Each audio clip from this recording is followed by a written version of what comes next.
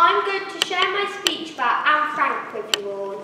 I chose her as my hero because she lived a difficult life of fear, torture and dread because she never knew when or if she would be captured by the masterful Nazis. Many of you won't know this, but Anne was originally born in Frankfurt, Germany, in central Germany.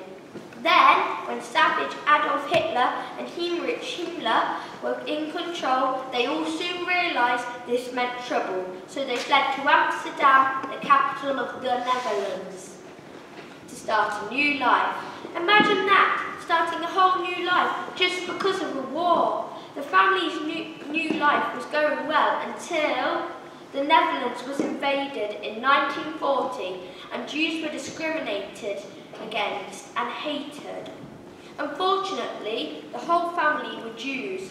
Anne had to move schools and her dream career was crushed of being an actress because she couldn't go to see the cinema.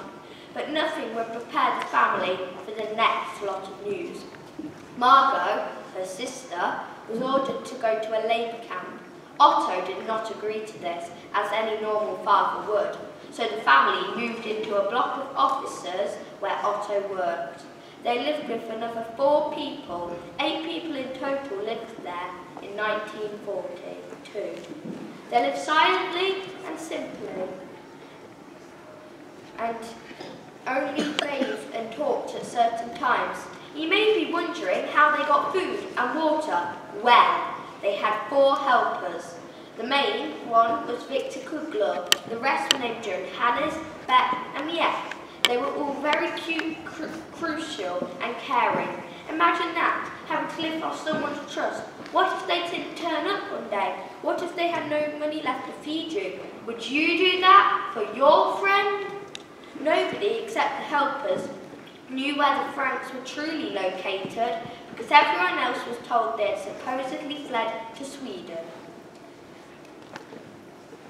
For Anne's 13th birthday, she celebrated it in the isolated annex. She received an autograph book from her mother and immediately used it as a diary. But then, in 1944, they were all caught. No evidence was found of which person spilled the beans.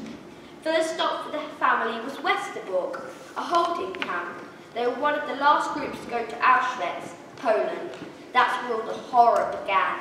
Imagine that. One minute you're in your home, next you're in a neglected annex, and finally you're in a concentration camp in front of being shot, starved, or gassed.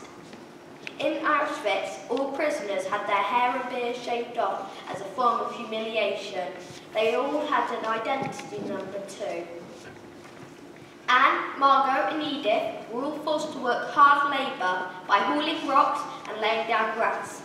But soon after, the females of the family became ill and were soon moved into the infirmary. But at least three of the family were together for now. But then, Anne and Margot were issued with orders to go to Bergen-Belsen in Germany. Edith, their mother, was forced to stay behind. She later died of starvation. Imagine that. You, you have to leave your mother behind and then having to go to a whole different country where you may or may not die. She did die just after her sister. That's what really killed her off.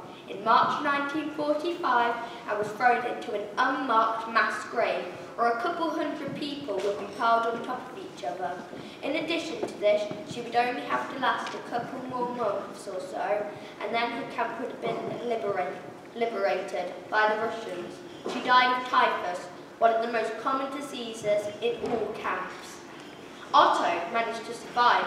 Luckily, when he found out what happened to his, the other members of his family, he was devastated and broken-hearted. Imagine that, you've lost the most important members of your family. Otto eventually brought himself to remarry and to be a stepfather to a girl called Eva, Anne's Diary is one of the most read history books in the world. It was published in the Netherlands in 1947, France and Germany in 1950, and the United Kingdom plus the United States of America in 1952. The book's title is Anne Frank, Diary of a Young Girl. I hope and I'm sure you all hope that nothing like this happens again. No more wars, but we can't assure that. But maybe we will be peaceful, but maybe we will never know.